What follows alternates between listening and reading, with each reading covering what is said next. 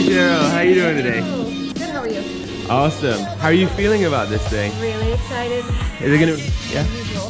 This- Jumping out of plane. Is it gonna be your first time trying something like this? Second. Second. Oh, okay, we got a veteran on our hands. Oh, second time on a plane, second time jumping out. Really? Yes. Oh, that's awesome. So all you do is jump out of planes. Pretty much. I don't, I don't plan on that thing. Perfect. Awesome. You got anything you want to say to anyone watching, uh, friends or family back home? Near the ground. Woo! Awesome. Let's do it.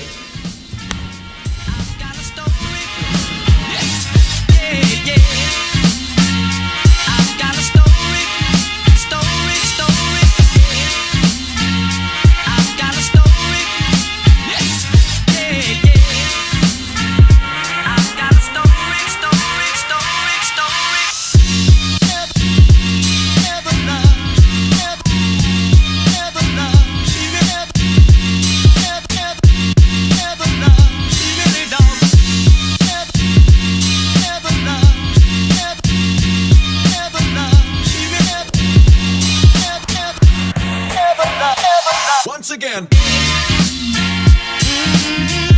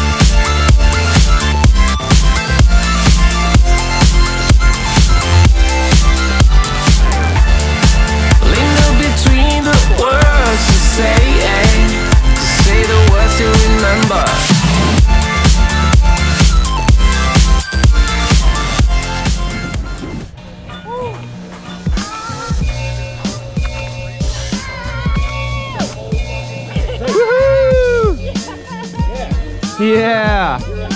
Awesome job. Come here. That was so awesome!